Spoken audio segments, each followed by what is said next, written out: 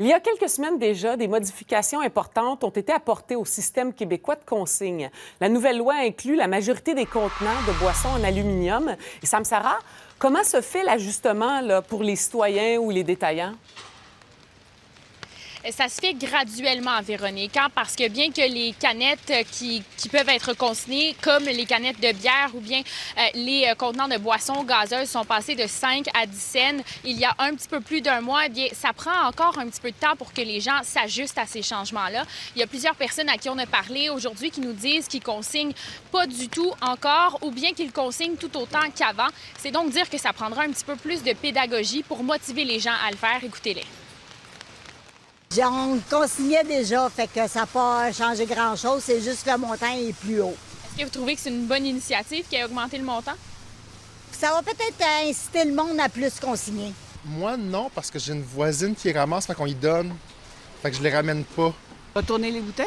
Non, mais de toute façon, je n'achète pas grand-chose en, bouteille. Fait que le plastique, je le mets dans, dans la récup. Puis, je... non, ne prends jamais de canette, donc je peux pas vous répondre. Euh, oui, on consigne plus. Euh, c'est sûr que le dissous, euh, ça vaut la peine. Mais ouais, ben, j'ai toujours consigné, fait que je fais juste continuer de, de le faire. Et ça vient avec son lot de défis, hein, pour les détaillants? Allez-y. Oui, tout à fait, Véronique. Ces changements-là, évidemment, apportent leur lot de défis, non seulement aux citoyens, mais également pour les dépositaires qui, euh, parfois, peuvent être des commerces un petit peu plus petits et qui amassent énormément de canettes pour l'espace qu'ils ont. Euh, je vous laisse entendre, euh, donc, un porte-parole qui, Normand Bisson, qui nous explique comment ça va fonctionner dans le futur.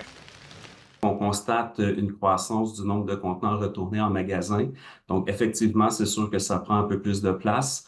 On ajuste présentement les routes de récupération pour s'assurer d'être capable de fournir aux besoins des détaillants. C'est les, producteurs qui présentement euh, opèrent des routes de récupération.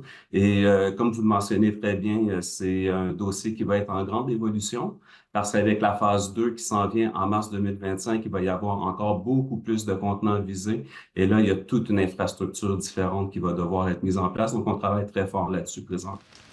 Dès le 1er mars prochain, il y aura d'autres types de contenants également qui seront ajoutés à la liste, notamment les bouteilles de vin et de mhm. spiritueux.